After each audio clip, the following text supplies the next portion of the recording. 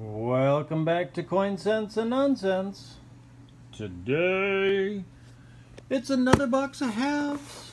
And we're going to have some kind of special thing today for one of my longtime viewers.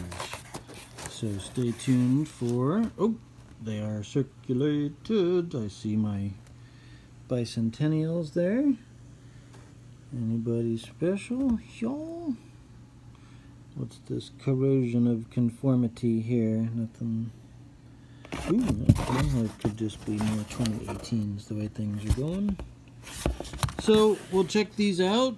Um, and like I say, today we're going to have something different. We won't do our getting to know you uh, thing. We're going to do something different. We're going to do a segment for Debby from Albuquerque, New Mexico one of my longtime subscribers and viewers, um, and we're going to talk about what we do with the coins that we pull out of here, and um, that'll be uh, hopefully something educational for more than just Debby.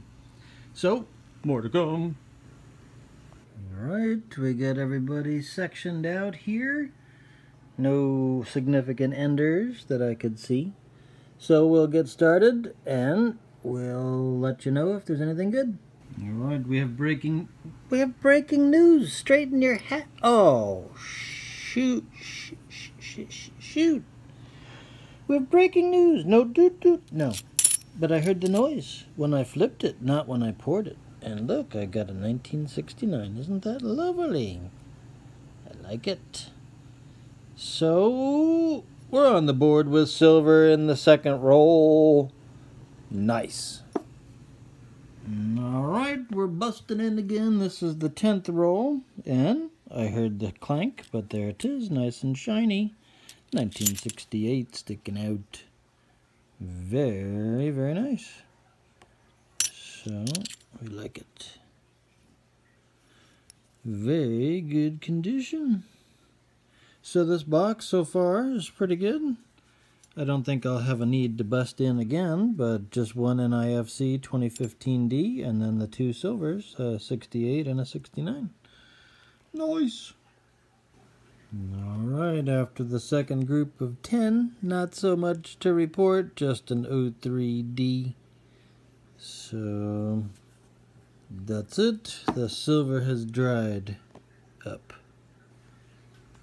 Alright, these guys must have their silencers on or something like that. I didn't even hear it, but there she blows. Another 1968. So, just when I thought the silver had dried up, I was in the second to last roll of the third batch of 10. And now we get another 68. Cool. Alright, so that third batch, not too bad. I had a 2010P NIFC and a 1968D. So, very, very nice silver. So that's three for the box so far. Alright, not much to show from the fourth batch of 10. Just a 03P NIFC. Alright, fifth batch of 10. And all we got is another O3P. So, the finds for the box are as follows. Two O3Ps, one O3D, a 2010P, and a 2015D. And then three silvers. I got two 68Ds and one 69D. These are 40 percenters, so not uh, going to be able to retire on these, but chipping away at it. Yeah.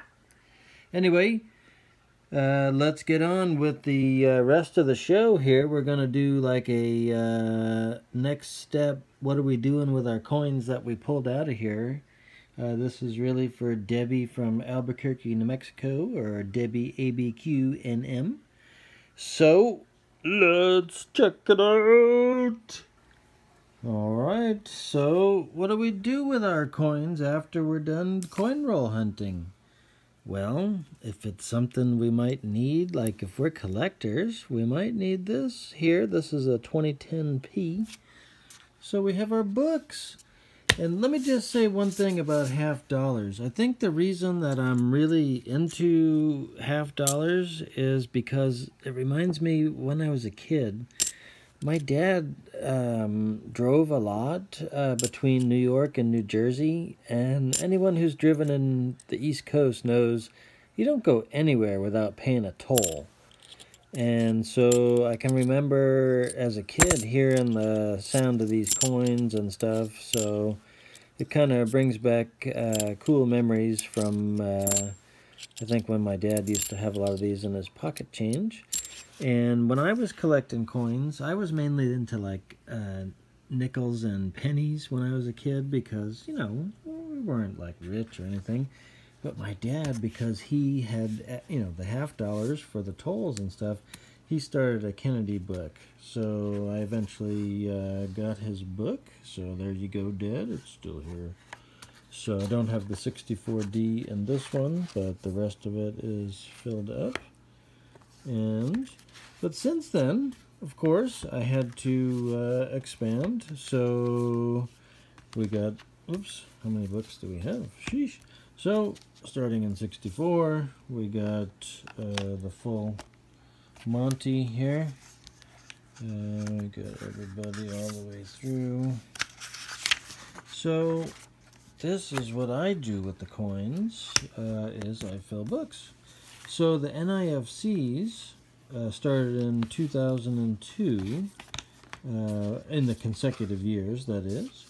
So this book ends up with 2003, I believe, and so I've got that all filled in. So these are when the NIFC started. You can see it really dropped off 3 million but uh, kind of in the mid 2000s it was actually like less than 2 million uh, per year so we have the next oops not in the green book but in the gray book starting in 2000 so then we've got all the NIFCs here starting in 2002 so do I need that 2010p? I know I need a lot of P coins.